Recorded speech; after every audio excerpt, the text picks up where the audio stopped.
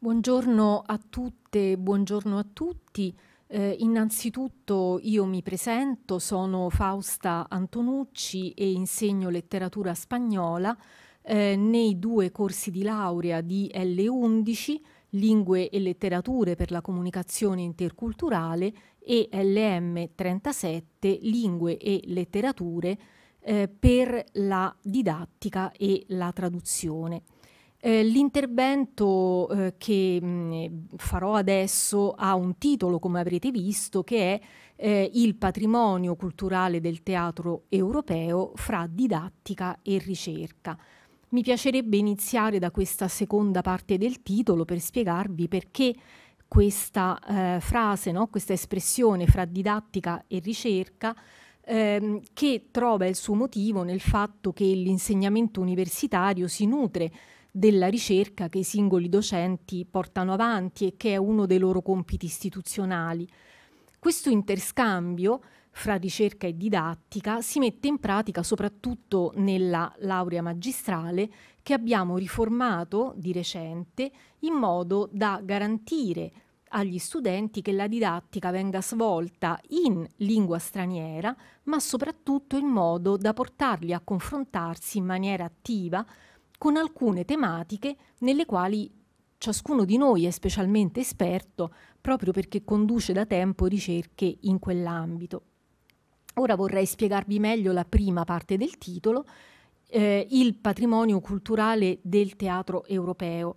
Molti docenti dei nostri due corsi di studio in L11 e LM37 focalizzano la propria ricerca e dunque anche la propria didattica eh, su tematiche connesse con questo straordinario patrimonio culturale al quale appartengono nomi conosciuti un po' da tutti voi, come Shakespeare, Lope de Vega, Molière, Calderón de la Barca, Garcia Lorca, Brecht, per limitarmi ai più noti anche a livello scolastico.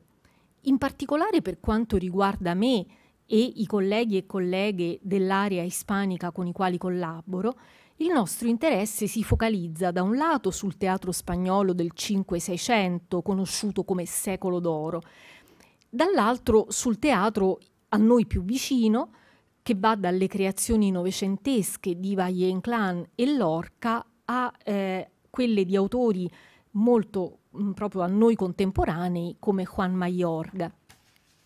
Il teatro spagnolo del secolo d'oro è stato al centro di un importante progetto di ricerca nazionale finanziato dal Ministero per l'Università nel 2016, formato da sei gruppi di studiosi di altrettante università italiane, di cui è stato capofila il gruppo di Roma 3 da me diretto.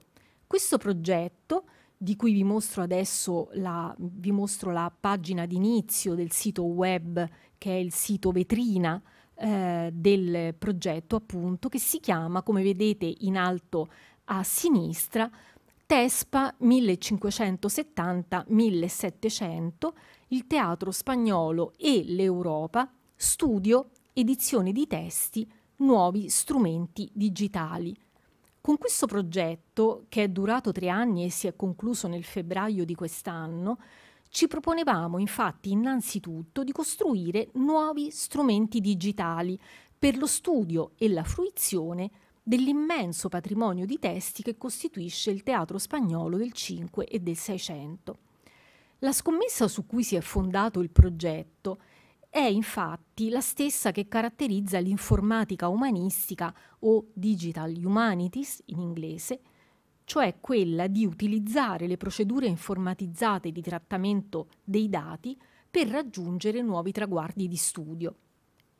Uno degli strumenti che abbiamo costruito e che adesso vi mostrerò a schermo è Calderon Digital, una banca dati, vi faccio vedere la pagina d'inizio, eh, sul teatro di Calderón de la Barca, che è una figura centrale del Seicento spagnolo. È autore, tra l'altro, di alcuni testi drammatici che fanno parte irrinunciabile del canone eh, della cultura europea, eh, prima fra tutti La vita è sogno, in italiano La vita è un sogno, un drammaturgo Calderon che è stato al centro della riflessione dei romantici tedeschi che lo consideravano un'icona della poesia drammatica e un modello da imitare e che ha influenzato tantissimo anche il teatro di Garcia Lorca. Lo scopo di questa banca dati creata nell'ambito del, del progetto e di cui vedete la pagina d'inizio è quello di mettere a disposizione di tutti gli utenti in rete e ad accesso aperto, ossia libero e gratuito, una serie di dati utili per studiare il teatro di questo drammaturgo. Riferimenti, vi mostro una scheda tipo, abbiamo un elenco di opere, ce ne sono ad oggi 67 eh, sulle 120 che formano il corpus della produzione drammatica di questo autore e eh, la scheda è costruita con quattro pagine, eh, ciascuna delle quali riporta eh, alcuni dati importanti, dati bibliografici, di bibliografia primaria e secondaria, eh, un'analisi molto dettagliata delle forme metriche che costruiscono l'opera, questo è un teatro poetico, polimetrico, ehm, informazioni sullo spazio e il tempo drammatico eh, dell'intreccio. E infine una sinossi molto molto dettagliata dell'azione drammatica. Ora, eh, tutto naturalmente, eh, come forse potete vedere, in spagnolo, che è la lingua nella quale Calderón ha composto le sue opere. Uh, a chi eh, serve eh, un prodotto come Calderon Digital? Eh, innanzitutto alla comunità scientifica, agli studiosi, ma anche agli studenti, ai quali in particolare facilita l'approccio analitico alle opere possono, di questo drammaturgo che possono avere in programma, come di fatto succede spesso. Noi le abbiamo già usate eh, in due corsi di triennale e di magistrale e devo dire che sono anche molto utili agli studenti laureandi che scelgono come argomento della tesi triennale o magistrale il teatro di Calderón. Come vi ho detto, la banca dati è ancora in costruzione e in questo lavoro di costruzione possono essere coinvolti anche gli studenti, in particolare gli studenti della laurea magistrale di fatto nel primo semestre di questo anno accademico, nel mio corso di secondo anno di magistrale, eh, abbiamo provato con gli studenti a costruire due nuove schede, cosa che ci ha dato l'occasione di analizzare in profondità le due opere studiate, ma con un obiettivo preciso, il che è sempre molto gratificante per gli studenti. Alla fine del lavoro una delle esercitazioni è stata proprio la redazione della sinossi dell'intreccio e la migliore fra tutte è stata pubblicata sulla banca dati con la mia revisione. Vi vorrei far vedere così per simpatia il, ehm, ecco, ehm, eccola qua alla, alla, fine della sinossi, vedete che nel campo autor, autore trovate il mio nome, io ho fatto la revisione della scheda e il nome della brava studentessa che l'ha preparata. La redazione di una o più schede, tra l'altro, può anche costituire il corpo centrale di una tesi di laurea magistrale. Di fatto un'ottima tesi che sto seguendo adesso eh, e che verrà discussa a luglio analizza minuziosamente lo spazio-tempo drammatico in rapporto al progetto di messa in scena, così come si può dedurre dalle didascalie e dalle parole dei personaggi, e queste informazioni possono essere direttamente riversate, di fatto eh, è stato fatto per le schede di queste due opere, in una delle quattro pagine che compongono la scheda dell'opera, in particolare quella relativa a eh, personaggi, spazio e tempo. Drammatico. Ho parlato eh, di progetto di messa in scena e vorrei quindi aggiungere che uno dei destinatari possibili di questa banca dati sono le compagnie teatrali e i registi che soprattutto in Spagna devono costruire la loro programmazione teatrale anche con opere del periodo classico, ho avuto il privilegio di lavorare a stretto contatto con Elena Pimenta, eh, l'ex direttrice della Compagnia Nacional de Teatro Classico, che è la compagnia spagnola che si occupa appunto della messa in scena di opere del periodo del secolo d'oro, e ho visto quanto studiano il regista e gli attori per comprendere al meglio l'opera che devono rappresentare. Ogni strumento di analisi che li aiuti in questo impegno, soprattutto se disponibile in accesso aperto, è per loro un tesoro. Ho detto prima che la programmazione teatrale delle opere del secolo d'oro si fa soprattutto in Spagna. In realtà si fa molto anche nel mondo anglosassone, soprattutto negli Stati Uniti, eh, dove la componente latina della popolazione si interessa a questo patrimonio come recupero della propria identità linguistica e culturale. In Italia invece purtroppo si fa pochissimo o per nulla. E allora ecco che due miei coraggiosi colleghi, Simone Trecca e Francesca Leonetti, hanno messo in piedi un bellissimo progetto, una compagnia teatrale studentesca che possa mettere in scena frammenti di testi teatrali spagnoli in traduzione. A dicembre abbiamo visto il primo risultato del loro lavoro, alcune scene della Celestina di Fernando de Rojas, che è un'opera della fine del Medioevo, ma per molti versi ancora attualissima.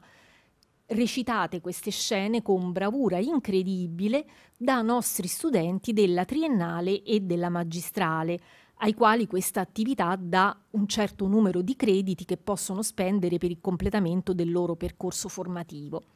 Capirete che questa impresa non comporta solo l'acquisizione da parte delle ragazze e dei ragazzi di capacità attoriali, ma mette in gioco anche tanti altri saperi, alcuni estranei al percorso universitario, come il trucco o la creazione dei costumi di scena, altri invece centrali nella preparazione specifica dei nostri corsi di laurea. In particolare mi riferisco alle competenze interpretative e linguistiche, il testo infatti va tradotto e o adattato alle esigenze di recitazione. Ed ecco che una delle linee di ricerca del nostro gruppo, nella quale si specializzano tanti tesisti della triennale e della magistrale e ora anche una dottoranda, è proprio lo studio delle strategie di adattamento di questi testi classici, composti nel Seicento, alle scene contemporanee, strategie che comportano riscritture, modifiche, adattamenti del testo al contesto di oggi, che è così diverso da quello di Lope e di Calderone. Una delle prime azioni che si devono realizzare per mettere in scena il teatro del Seicento è infatti la versione del testo per adattarlo alla lingua di oggi. Eh, uno dei versionatori spagnoli più famosi è anche uno dei drammaturghi contemporanei di maggior successo, Juan Mayorga, ve l'ho già menzionato prima. Mayorga è stato uno degli ospiti della rassegna di teatro contemporaneo intitolata In altre parole, che Simone Trecca organizza da anni e che si svolge in diverse sale romane, prima fra tutte il Teatro Palladium alla Garbatella, che è il teatro di Roma 3. In questa rassegna vengono rappresentate opere di drammaturghi di diverse culture e provenienze linguistiche in traduzione. Una traduzione che spesso è fatta dai nostri studenti in modalità laboratoriali e anche a volte in collaborazione con la Casa della Traduzione di Roma. Un'altra attività connessa con il teatro, nella quale i nostri studenti possono mettere alla prova le loro competenze linguistiche, è la sopratitolazione che è un metodo oggi assai diffuso in quei casi nei quali un'opera teatrale viene rappresentata nella sua lingua originale per un pubblico di madrelingua diversa. E a questo punto devo dire che non tutto ovviamente è teatro spagnolo nei nostri corsi di studio, per esempio attività di sopratitolazione da parte dei migliori studenti sono state portate avanti anche per il festival On Stage dedicato al teatro americano indipendente in Italia e con il quale collabora eh, dal 2018 la professoressa Sabrina Vellucci. Per non parlare delle molteplici iniziative dedicate al teatro di Shakespeare e coordinate dalla professoressa Maddalena Pennacchia. Tra queste iniziative voglio menzionare almeno la collaborazione con il Silvano Toti Globe Theatre, il teatro elisabettiano di Villa Borghese, diretto da, Luigi, da Gigi Proietti, di cui è stato appena inaugurato l'archivio digitale presso il nostro dipartimento, nonché vorrei menzionare anche i tanti corsi e seminari sugli adattamenti cinematografici dell'opera shakespeariana. Questa dell'intermedialità o passaggio da una forma artistica, che sia teatro o testo letterario, a un'altra, il cinema in questo caso, è una linea di ricerca e di didattica molto seguita anche da altri colleghi, tra i quali di nuovo devo menzionare Simone Trecca e Sabrina Bellucci. Non a caso negli obiettivi formativi del corso di studio triennale in lingue e letterature per la comunicazione interculturale si rammenta che lo studio della lingua e della sua o delle sue letterature è condotto anche attraverso l'analisi dei fenomeni di transmedialità e multimedialità. C'è anche un'altra area linguistico-culturale dei nostri corsi di studio che è fortemente interessata al teatro nella sua dimensione sia didattica sia di ricerca ed è la germanistica nella persona del professor Francesco Fiorentino. Del teatro tedesco contemporaneo, a Fiorentino interessano specialmente gli elementi teorici ed estetici che lo caratterizzano e che spesso sono rielaborazioni di schemi classici, proprio come succede sul versante spagnolo nel teatro di García Lorca.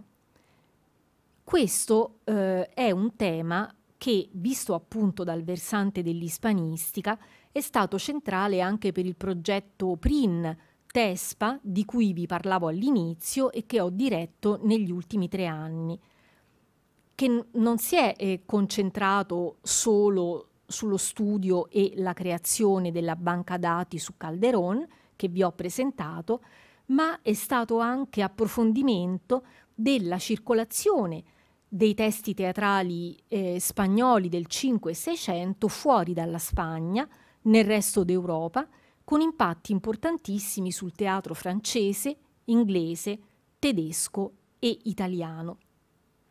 E per chiudere, non si possono studiare i testi del passato senza avere di questi testi edizioni moderne e accurate che restituiscano nei limiti del possibile le parole dell'autore ripulendole da errori e modifiche intervenuti nella trasmissione manoscritta o a stampa.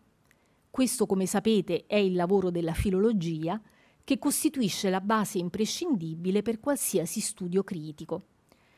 Nel nostro progetto TESPA abbiamo costruito una biblioteca digitale che raccoglierà le edizioni critiche di una raccolta di testi teatrali manoscritti che risalgono al periodo fondativo del teatro moderno spagnolo, gli anni che vanno tra il 1570 e il 1590. Vi mostro la pagina di inizio, eh, la collezione, questa biblioteca digitale eh, si chiama Gondomar, che è il nome del personaggio storico per il quale venne copiata questa raccolta di testi eh, del periodo 1570-1590, il conte di Gondomar, e vedete anche eh, nella pagina che vi mostro il titolo eh, La conquista de Jerusalén por Godofre de Bouillon di una commedia di questa raccolta di cui io ho fatto l'edizione critica. Quindi adesso vedete a schermo l'edizione, eh, vi faccio vedere alcune caratteristiche, per esempio eh, qui eh, chiudiamo questa finestrina, eh, avete il testo critico, eh, laddove vedete delle parole sottolineate, cliccando su quella sottolineatura trovate, si apre una finestra con la variante, eh, del, le varianti dei testimoni che hanno trasmesso la commedia e invece cliccando sulle parti eh, con il colore rosa eh, si aprono delle finestre con delle note di commento, quelle che per intenderci trovate di solito a piedi pagina nelle edizioni eh, per lo studio. Ora, di chi è questa commedia? Qui non vedete il nome dell'autore, ehm, lo, trovere, lo, trovereste nella finestra Datos della edición, dati dell'edizione. Eh, l'autore, l'opera ci è stata trasmessa anonima, ma l'autore, eh, la critica l'ha ricostruito, è niente meno che Miguel de Cervantes, l'autore grandissimo del Don Quixote, che ha scritto quest'opera pochissimo dopo il suo rientro in Spagna eh, dalla durissima prigionia subita ad Algeri ed è per questo, proprio per questa esperienza esistenziale fatta da Cervantes, che il suo punto di vista nel eh, drammatizzare la vicenda della conquista di Gerusalemme nella prima crociata coincide integralmente con quello dei crociati guidati da Goffredo di Buglione, tra l'altro anche con eh, molti episodi eh, presi dalla Gerusalemme liberata di Tasso e liberamente drammatizzati nell'opera. Ora nei miei corsi di magistrale cerco di far entrare gli studenti nel laboratorio dell'editore di testi classici, con tutte le sue difficoltà e le sue emozionanti scoperte. Un lavoro che richiede molta sensibilità linguistica, la capacità di servirsi di corpora e di strumenti lessicografici adatti, ma anche una conoscenza approfondita della cultura di quei secoli a noi ormai lontani. L'entusiasmo degli studenti che sono stati coinvolti in questa esperienza dimostra come la difficoltà non sia per loro un ostacolo se esiste la motivazione. E la motivazione è imparare a conoscere sempre meglio la lingua spagnola anche nei suoi aspetti storici e entrare in profondità nei testi di una cultura a noi ormai lontana, ma che ci ha costruiti come europei per quello che siamo oggi. Grazie per la vostra attenzione.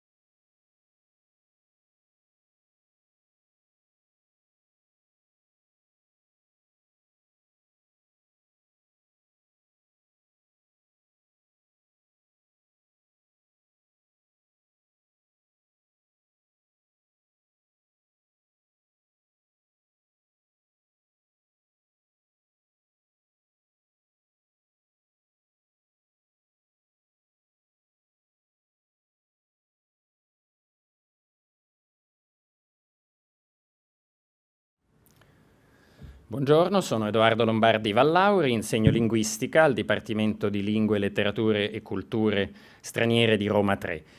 E, mh, quello che presenterò è una ricerca che in questo momento il governo italiano finanzia generosamente eh, sulla lingua disonesta, cioè sul modo in cui la lingua può essere usata per ingannare. Questa ricerca, oltre ad essere appunto un lavoro di scoperta della scientifica, di come funzionano le cose, è anche materia di insegnamento, cioè durante le mie lezioni io ehm, mostro le cose che in parte vedrete oggi ai miei studenti, cercando di rendere tutti loro più consapevoli del modo in cui la lingua può essere usata per ingannare.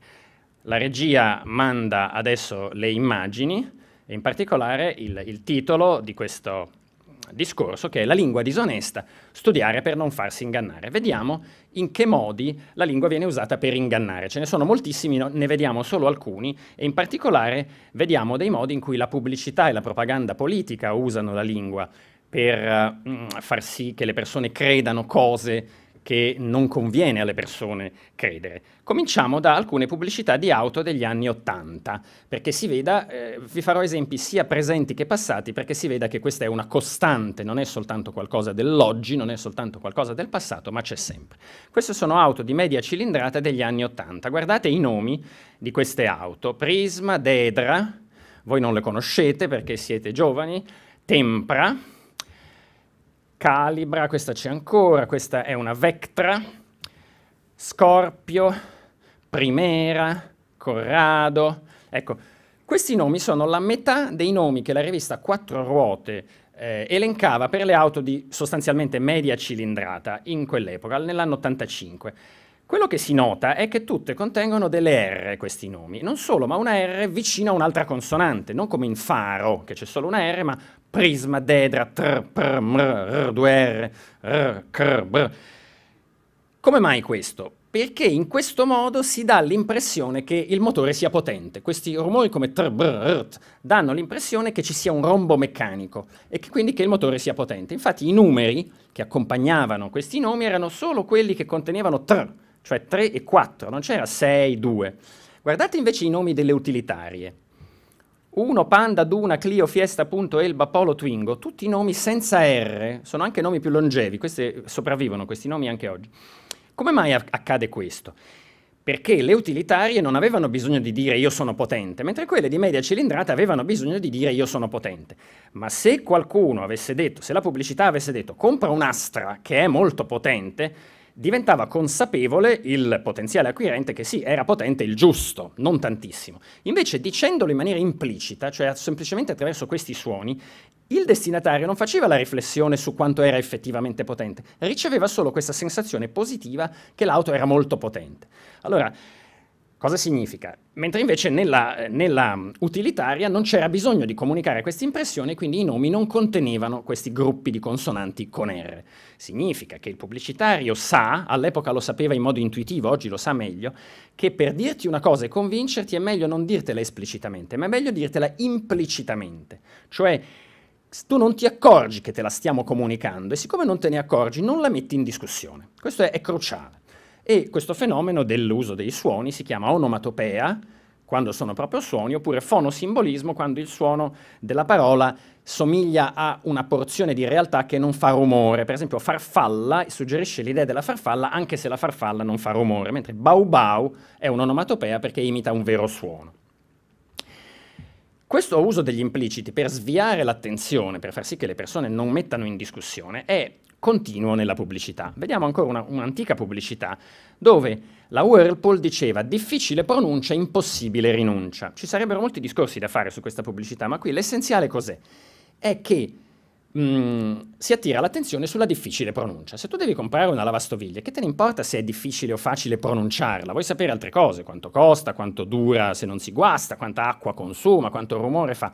Invece qui si attira l'attenzione sulla difficile pronuncia per creare l'impressione che ci siano due verità uguali, sono molto simili questi due mezzi versi, no? difficile pronuncia, impossibile rinuncia, l'impressione che siano due cose che hanno lo stesso valore. Una delle due è assolutamente vera. Whirlpool era una molto difficile pronuncia per gli italiani dell'epoca e allora l'impressione è che sia vero anche impossibile rinuncia. Ecco, se avessero detto è impossibile rinunciare a una lavastoviglie Whirlpool, tutti ci saremmo accorti che non era vero. Ma detta così, difficile pronuncia, impossibile rinuncia, è confezionata in modo da distogliere l'attenzione e ce la beviamo più facilmente. Questa è una costante della pubblicità, attirare l'attenzione su qualcos'altro in modo che la cosa difficile da credere passi inavvertita. Una delle strutture linguistiche che permettono di fare questo sono le cosiddette presupposizioni. Ora io vi faccio vedere delle slide, alcune delle quali non sono facili da capire, perché così avete un'idea del fatto che i miei studenti finiscono per dover capire anche queste cose, ma che all'inizio non sono facili. Questo è un famosissimo esempio del filosofo dell'inizio del Novecento, Bertrand Russell, che diceva The present king of France is bald, l'attuale re di Francia è calvo. Questo enunciato è un enunciato vero o falso? Ecco, la Francia è una repubblica, quindi da che, verrebbe da dire che è falso. Però la cosa interessante è che se un enunciato è falso, normalmente la sua negazione è vera. Quindi se io dico eh, Roma è in Lombardia, questo è un enunciato falso, e tanto è vero che se io lo trasformo in Roma non è in Lombardia, diventa vero. Mentre invece se io dico l'attuale re di Francia è calvo, c'è qualcosa che non va perché la Francia non ha un re, ma non è che l'attuale re di Francia non è calvo sia molto meglio. Continuano a esserci dei problemi. La ragione è che questa frase non asserisce che esista un re di Francia. Se dicesse esiste un re di Francia sarebbe una frase falsa, ma lo dà per scontato, lo presuppone, dice l'attuale re di Francia cosa su cui io non mi impegno, diciamo, lo presento come qualcosa che tutti conoscono, come il sole, la luna, uso cioè l'articolo determinativo, che serve proprio a questo nella lingua, ecco, l'attuale re di Francia è calvo, dà per scontato che esista l'attuale re di Francia e poi dice che sia calvo. Allora, questo enunciato non è né vero né falso perché non asserisce l'esistenza del re di Francia, ma la dà per scontata, la presuppone. Allora, questa stessa cosa la fa la pubblicità. Guardate per esempio, la freschezza di Iocca ha solo il 7% di grassi. Questa pubblicità non ci vuole convincere che Iocca ha solo il 7% di grassi, di quello se ne accorge chiunque appena lo mangia. Vuole convincerci che Iocca è fresco, che Iocca dà una sensazione di freschezza. Se dicessero Iocca dà una sensazione di freschezza, noi diremmo, ma insomma è molto meglio il vero formaggio. Invece dicendo la freschezza di Iocca, dando per scontato che esiste, che tutti già conoscono la freschezza di Iocca, è più facile che ci convinca che Iocca è fresco. E la concorrenza faceva la stessa cosa. Qui invito Weight Watchers non diceva invito Weight Watchers sono peccati di gola, diceva Invito Weight Watchers i peccati di gola che non fanno ingrassare, cioè lo presentava come scontato che fossero peccati di gola. Quando ci presentano la cosa come scontata, noi non la mettiamo in discussione e se non stiamo attenti non ci accorgiamo che finiamo per credere una cosa che non è vera e che non avremmo creduta se avessimo fatto più attenzione. Come pure la maionese Vive la Vie, il nuovo gusto a meno grassi. Se vi dicessero maionese Vive la Vie è il nuovo gusto, voi direste ma quando mai? Invece dicono il nuovo gusto a meno grassi, lo lasciano lì, danno per scontato e a voi rimane l'impressione che maionese Vive la Vie sia il nuovo gusto. Molto più moderno di questi mesi, la firma dell'alta velocità italiana. Frecciarossa dice la firma dell'alta velocità italiana. Sapete a cosa serve questo? Serve a dire che non esistono altre firme dell'alta velocità. Per esempio, se dico il mio cugino ehm, commercialista, sto dando l'impressione di avere un solo cugino commercialista. Se ne avessi di più dovrei dire un mio cugino commercialista. Ora, a essere onesti, Frecciarossa avrebbero dovuto dire una firma dell'alta velocità italiana, perché c'è anche la concorrenza Nuovo Trasporto Viaggiatori Italo. Dicendo la firma dell'alta velocità italiana, loro senza dirlo danno l'impressione che ce ne sia una sola, cioè che Italo non sia veramente un soggetto che fa alta velocità. È un modo, se avessero detto solo Freccia Rossa fa l'alta velocità, tutti ci saremmo accorti che era falso. Dicendolo così, dandolo per scontato, creano un'impressione che noi non mettiamo in discussione.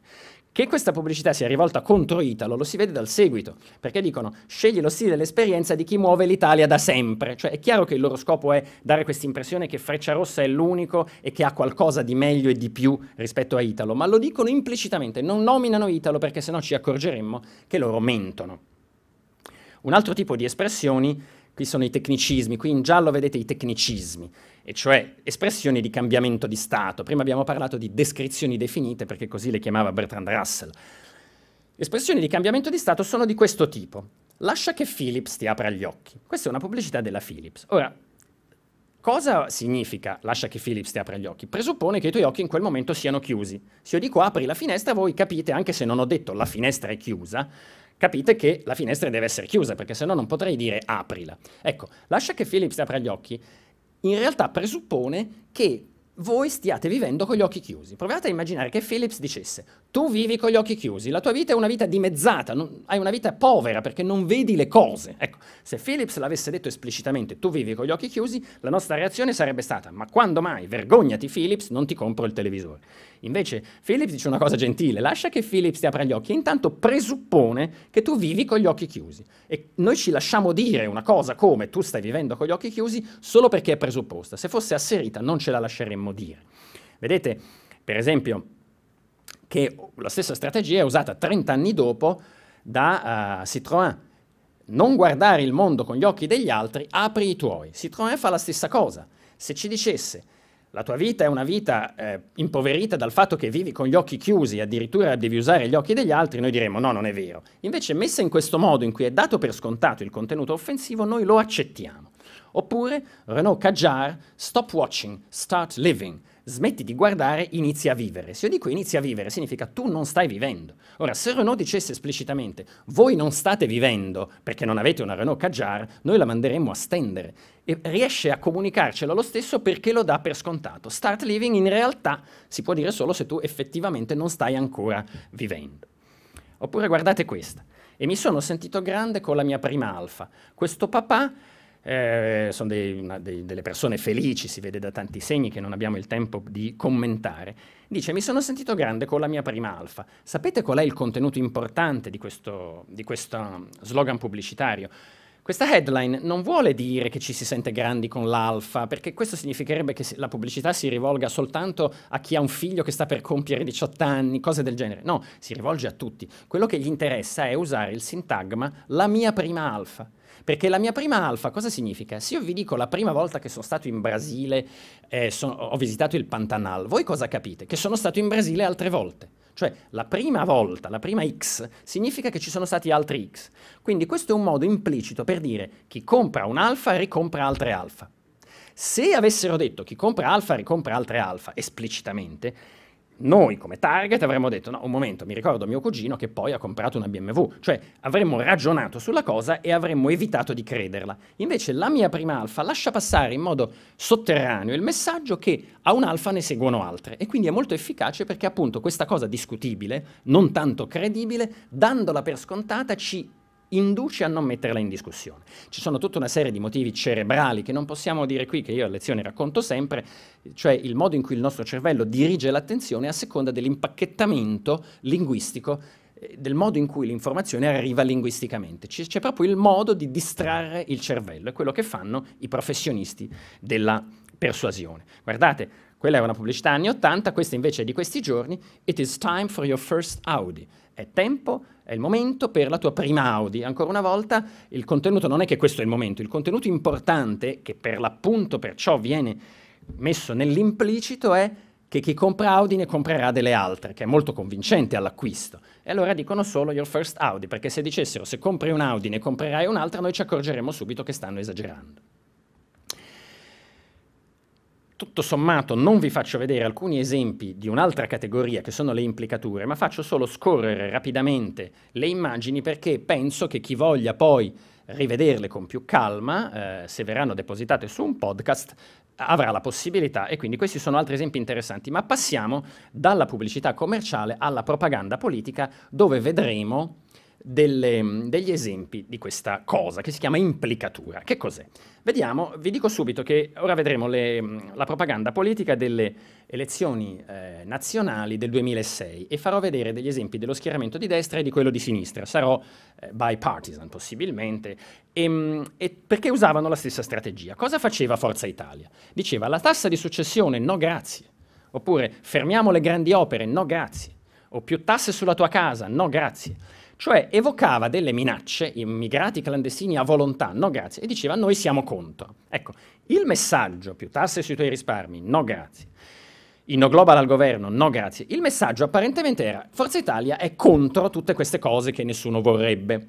In realtà però ha un'altra funzione, più importante ancora, se io dico non mi serve l'ombrello, grazie, voi cosa capite? Che qualcuno mi ha offerto un ombrello. Allora dire di nuovo la tassa di successione no grazie serve a dire senza dirlo che se vince la sinistra rimetterà la tassa di successione. I no global al governo no grazie serve a dire senza dirlo che i i, la sinistra vorrebbe mettere i no global al governo. All'epoca i no global erano sinonimo di black bloc. E così immigrati clandestini a volontà, più tasse sulla tua casa. In realtà queste sono tutte accuse alla sinistra, tutte da verificare, perché poi non è che nel programma della sinistra c'era scritto rimettiamo la tassa di successione. Però non dicendolo e comunicandolo lo stesso, la destra riusciva a infamare la sinistra senza averne l'aria, e questo è molto più convincente che dire esplicitamente la sinistra fermerà le grandi opere, che non era vero, dipendeva, l'alta velocità no, il ponte sullo stretto sì, eccetera. Cosa faceva la sinistra? La stessa cosa. Senza asili nido le famiglie non crescono. Per carità è vero, le famiglie non crescono economicamente, non crescono di numero se non sono aiutate, ma perché mi dici questa ovvietà? Se io ti dico guarda che senza ombrello ci si bagna, tu cosa capisci? Che c'è la pioggia. Anche se non ti ho detto piove, tu lo capisci dal fatto che non ha senso dire senza ombrello ci si bagna se non sta piovendo. Allora, che senso ha dire senza asili nido le famiglie non crescono? Beh, in campagna elettorale serve a far implicare che la destra taglierà sugli asili nido.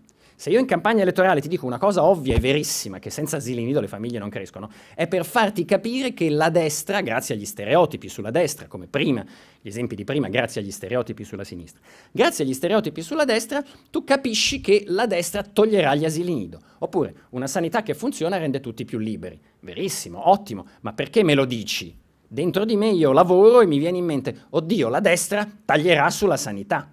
Oppure, il lavoro precario chiude la speranza, non c'è scritto la destra renderà più probabile il lavoro precario, ma è un'accusa formulata in maniera implicita. Quindi ancora una volta la cosa efficace, l'accusa alla controparte, che detta esplicitamente verrebbe riconosciuta come malevola e anche probabilmente falsa, o comunque discutibile, detta in forma implicita passa nelle coscienze dei destinatari. Governava Berlusconi, riapriamo il futuro, era come lascia che Philips ti apra gli occhi, e cioè riapriamo il futuro significa il futuro con Berlusconi è un futuro chiuso. Ecco, detto esplicitamente sarebbe più difficile da credere e invece in forma implicita era convincente. Questo si fa anche oggi. Dal 2006 passiamo al 2018, schiavi dell'Europa no grazie. Ecco, qui è implicata una cosa che non è detta, e cioè se voterete per i miei avversari, loro vi renderanno schiavi dell'Europa. Ecco, se la cosa venisse detta esplicitamente, la nostra attenzione sarebbe di un livello diverso e diremmo no, beh, un attimo, non è che ora se votiamo per i nostri avversari quelli ci vogliono rendere schiavi dell'Europa, è un'esagerazione, ce ne accorgeremmo. Invece, detta in maniera implicita, non ce ne accorgiamo. Oppure, giù le mani della famiglia, no a matrimoni omosessuali. Qui è implicata una cosa, e cioè che il matrimonio omosessuale non sia la famiglia. Tanto è vero che se io facessi così, giù le mani dalla famiglia, sì a matrimoni omosessuali, non avrei detto di nuovo nulla sul rapporto fra famiglia e matrimonio omosessuale, ma basta dire sì per far implicare che la, il matrimonio omosessuale va difeso perché è famiglia. Ecco, la cosa interessante quindi è che mentre se, se avessero detto il matrimonio omosessuale non è famiglia, molti avrebbero pensato avrebbero detto, beh, insomma, in una certa misura è famiglia, gli manca una, un elemento di eterosessualità, ma per tutto il resto sembra una famiglia. Ecco, detto esplicitamente, il matrimonio omosessuale non è una famiglia, avrebbe convinto molte meno persone che detto così, giù le mani della famiglia, no a matrimoni omosessuali, noi ne implichiamo, facciamo noi il lavoro sporco. La cosa che non è stata detta esplicitamente la diciamo noi, e cioè il matrimonio omosessuale non è famiglia, oppure qui, nel, nella versione modificata, il matrimonio omosessuale è famiglia. Sempre l'implicito. Allora, Guardiamo cosa succede, per esempio, nei tweet. Cambiamo dalla propaganda da cartellone ai tweet. Qui ci sono due tweet. Uno che dice, io sono una persona seria e i miei avversari sono degli ipocriti. Secondo voi questo tweet funziona? Oppure funziona meglio, le persone serie sono garantiste sempre, gli altri invece hanno un altro nome, si chiamano ipocriti? Perché in realtà questo secondo tweet, che è quello vero, usato davvero da Matteo Renzi, dice la cosa del primo, cioè le persone serie sono garantiste sempre, gli altri si chiamano ipocriti. Serve a Renzi a dire io sono una persona seria e i miei avversari sono degli ipocriti, ma detto così noi ce la beviamo più volentieri. Se lui lo dicesse esplicitamente diremmo sei una persona che non sa stare al mondo.